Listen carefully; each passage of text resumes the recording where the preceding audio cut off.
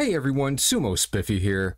Natsu Basho Day 9 coming up. Yesterday, eh, 8 out of 20, not good. In fairness to, I guess, my thought process, or just trying to make myself feel better, Midori Fuji, Sadano Umi, and Kagayaki all had their matches won and just managed to find a way to lose. Midori Fuji's especially was, oh, I am winning, oh, I am going to slip and fall.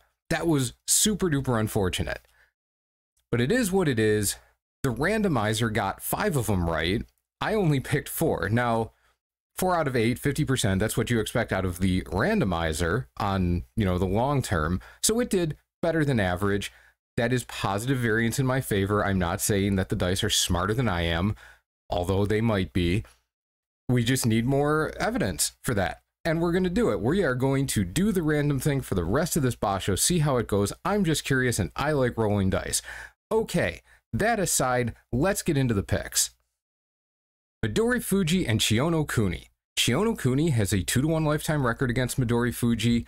Under normal circumstances, I would say, oh, you know, he's been in Maegashira a long time. He's definitely the better wrestler. He has a good record against this guy but he looks like a broken man right now. Midori Fuji really should be 5 and 3. Yesterday was very unlucky, so he should win.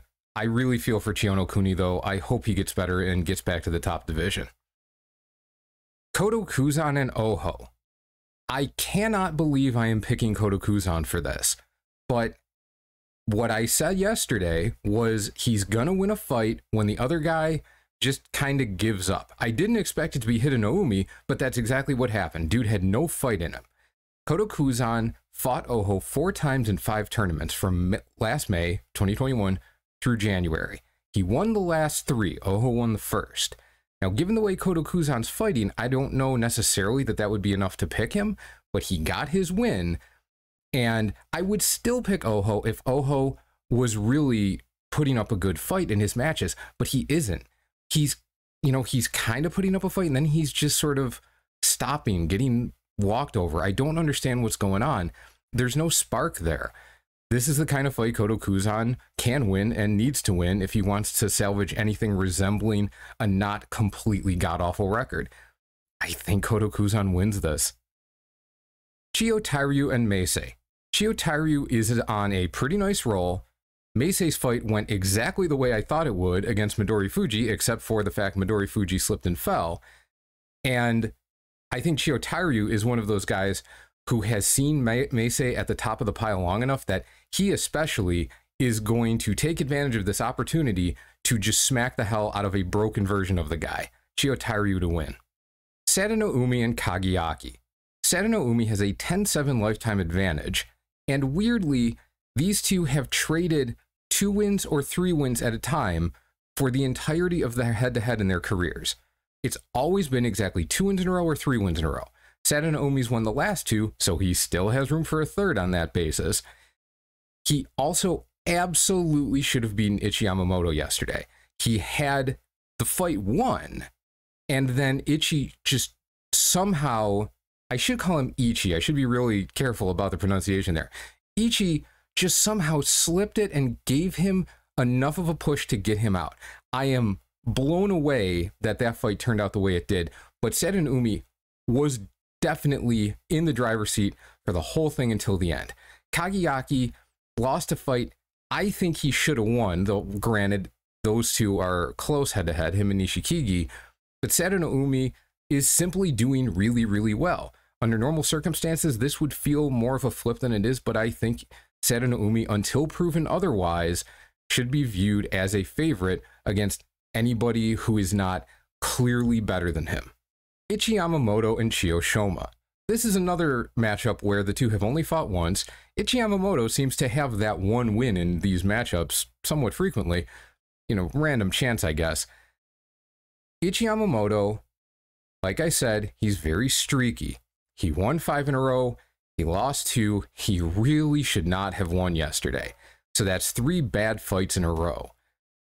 This puts me in a state of mind where I think, oh man, this could snowball really out of control. However, he certainly came forward yesterday. It's not like he looked like he didn't know what he was doing all of a sudden or like he lost confidence.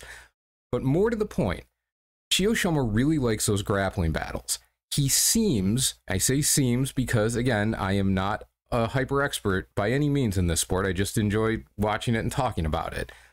But he seems to have a vulnerability, not necessarily like a ton of trouble, but a vulnerability to guys who come directly at him and don't give him a chance to get into that grapple mode. If he gets the belt, he's probably going to find a way to win. But Ichi Yamamoto has just got a good burst right now, and even against Sato Umi, he got that initial push. If he does that to Chiyoshoma, I think there's a good chance he just blows him out of the ring before any of the grappling tricks can come into play. Ichi Yamamoto to win. Koto Shoho and Azumaryu. Koto Shoho is 4 and 1 against Azumaryu. They fought five times in a row. Azumaryu won the first, Koto Shoho won the next four. He's maybe not fighting like somebody who is 5 and 3, like I mentioned yesterday, but he's finding ways to win and I don't have a reason to think he's going to lose to a guy who he's had a lot of success again, a lot of success against. Koto Shoho to win. Yutakayama and Terutsuyoshi.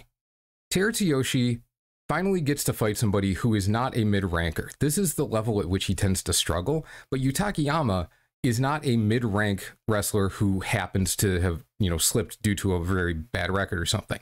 He's in his happy spot. So this should be a fight that Terutsuyoshi has a better chance of winning. But he doesn't seem to really be finding his footing. Not a slipping joke, given what's happened in this tournament so far. Yutakayama's went three of four against him. That seems to be all of the difference, but I don't have a reason to pick Terutsuyoshi despite this. I will give it to Yutakayama. Shimano Umi and Myo Giryu. Shimano Umi has done really well against people that he has had a lot of success against in the past. He has not done well when that isn't the case. Myogiryu is 7 and 1 against him. Myogiryu to win. Kotoeko and Aoiyama. I went back and forth about this fight a lot.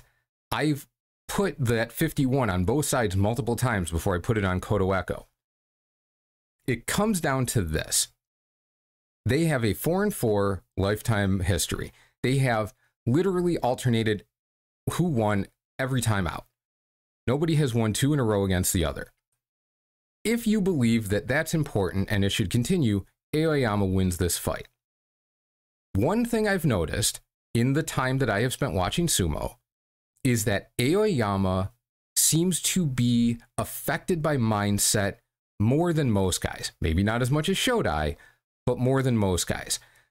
With the success at the start of the fight or the start of the Basho, he was just on a roll and smacking dudes.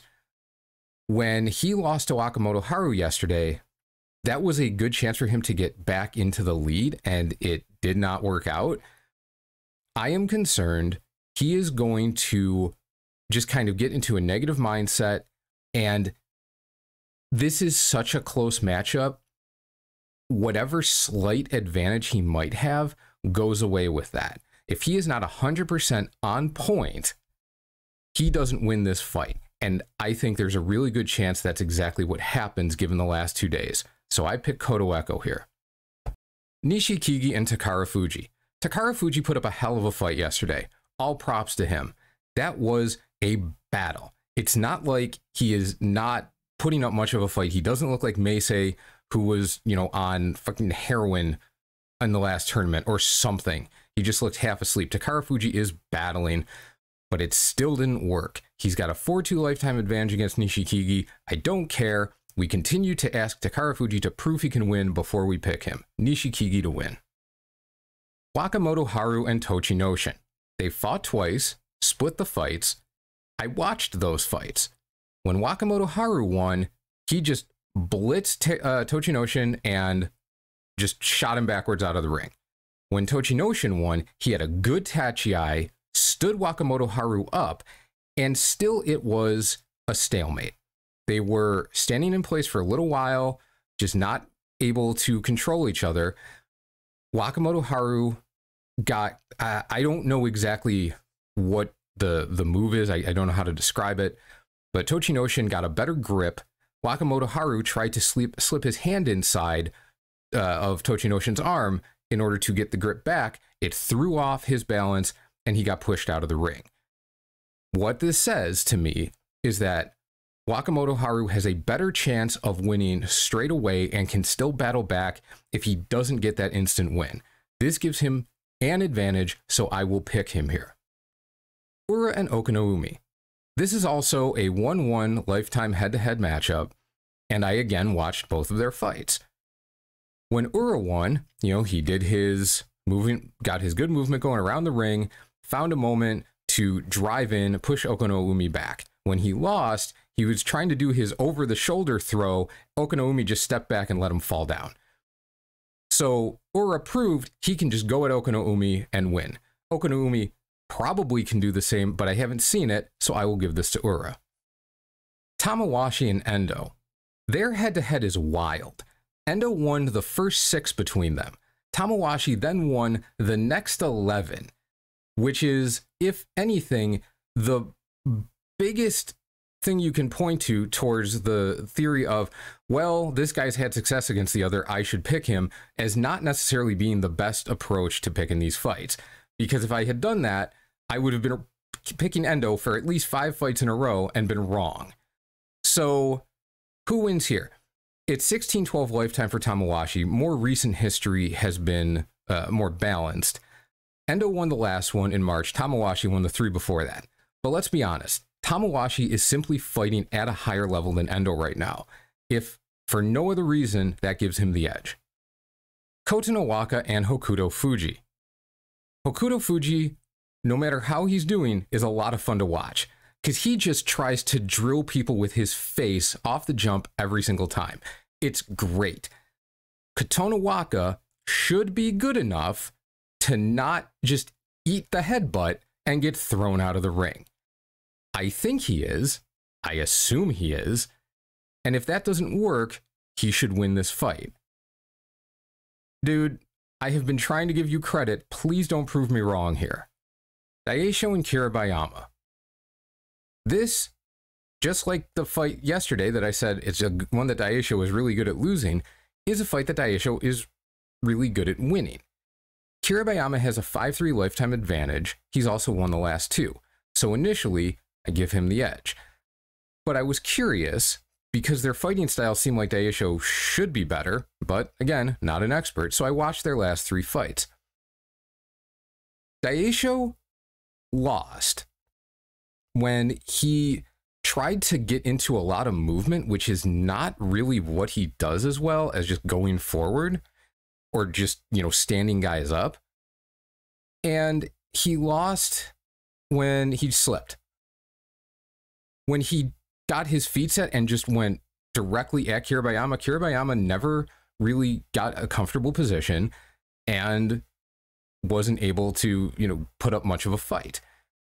Daieisho is very much in that mindset right now where he is just going at dudes, win or lose. He is playing his game. And if he does that, I think he has a good chance of winning this fight. So I am going to go against the numbers which I said I wasn't going to do, but I really think the other evidence argues for it this time, and I will pick him to win. Takayasu and Hoshoryu. I don't know about Hoshoryu, man. Hoshoryu somehow loses fights he really shouldn't lose. How does he lose to Shodai? Granted, there should have at least been a mono e. I don't know that he got robbed necessarily, but the judges should have stepped in there. Takayasu has never lost a Hoshoryu, 4 0 lifetime. In this Basho, yes, he has an amazing record against Mitakeumi, and he lost that fight. But other than that, he hasn't really had a very good record, and sometimes a terrible record, against the guys who have beaten him. But in, in his wins, those are guys he's had some success against. Well, if he's had the success against Hoshoryu, and Hoshoryu is somehow finding ways to lose fights, I think Takayasu really does have an edge here. Now, given all of this, Hoshoryu is probably just going to find a way to do something new and, you know, yeet Takayasu in five seconds. But this one, I just don't have a reason, a specific reason to think that'll happen. So, sure, back to the safety blanket. Let's just call it what it is. Abi versus Shodai. Okay, Shodai won yesterday, and it was a fight that he shouldn't have won. But he really didn't show any kind of dominance in the victory. He kind of slipped through with it. And a guy if a guy comes right at him, he just seems to not know what to do. Like the way that Terunofuji's body is sort of broken against guys who come at him with a lot of power, Shodai's mind seems to be broken against the same thing. This is exactly what Abi does. I would be surprised to see this fight last more than 10 seconds. Abi to win. Mitakeumi and Takano Sho. Mitakeumi has not been fighting at the level we've seen for the last few Bashos. Granted, he's won five in a row against Takano Sho, but that doesn't necessarily mean a ton. Granted, Takano Sho is fighting great. But if you look at his last five fights, all victories after a 1 and 2 start, none of those opponents are at the same level as Mitakeumi. There are sometimes people who we think should be at a similar level, cough, cough, Kotonowaka, cough, cough, but they have not been fighting at that level. Mitakeumi, as much as he hasn't done great and as much as he hasn't looked quite like the super high level Mitakeumi that we've seen recently, should be good enough to find this win. Mitakeumi crossing my fingers. Takakeisho and Wakataka Kage. Wakataka Kage is 3 and 5 despite having a lifetime winning record against every single guy he's fought except Kiribayama. That's not good, especially when Takakeisho is 5 and 2 against him. Takakeisho is looking rock solid and taking advantage of his aggression, which is probably the best way to beat him at this point, is not something Wakataka Kage is super prone to do. I don't see how Wakataka Kage can be considered a favorite as much as I really would like to see him succeed. The whole Ozeki thing seems pretty cool, and I'd love to see that happen.